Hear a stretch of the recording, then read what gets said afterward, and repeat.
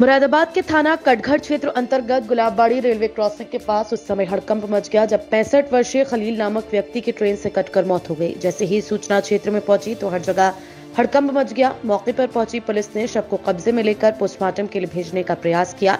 तो परिजनों ने पोस्टमार्टम कराने को मना कर दिया, जहाँ परिवार से लिखित में प्रार्थना पत्र लेकर शव परिजनों को सौंप दिया गया।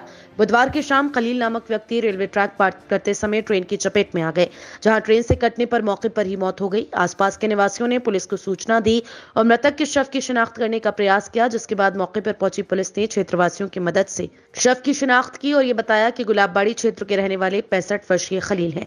मौके पर पहुँचे परिजनों ने पुलिस से ये प्रयास किया कि हम शव का पोस्टमार्टम नहीं कराना चाहते। जहाँ मौके पर पहुँची पुलिस ने परिजनों की तहरीर के आधार पर शव परिजनों को सौंप दिया। ऐसे में सभी का ही कहना था कि रेलवे ट्रैक पार करते समय सभी लोग सावधानी बरतने का काम करें तो हम दुर्घटनाओं से बच सकते हैं।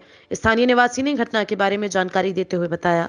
ये गाड़ी आ रही थी सजावती उससे एक्सीडेंट हो गया इनका क्या नाम है इनका? इनका खलील नाम है। कहाँ रहते हैं? ये इधर ही रहते हैं पीछे गली में। गुलाबबाड़ी में। गुलाबबाड़ी में। क्या बजे की घटना है?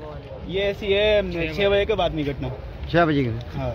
कौन कौन है इनके घर में? ये ये की है और इनकी बीवी है। अच्छा बच्चा और कोई बच्चा? बच्चे बच्चे ना है। तो क्या करते थे ये? ये मांगते थे बस। ये यही गु- यही गुजारा चलता रहा इनका बस। बस खाली मांगते थे यही गुजारा चलता रहा बस रोड उसका इनका ही। तो और कोई इनके परिवार में कोई ऐसा नहीं है जो कोई नहीं है कोई नहीं तो अब क्या पुलिस पोस्टमार्टम के लिए ले गई है? ना अभी नहीं अभी नहीं लेके गई है तो इनको हम ही दफन कर रहा है पंचनामा हो रहा है इनका। तो अ, पोस्टमार्टम नहीं करा रहे हैं। नहीं नहीं नहीं साइड में लो साइड में?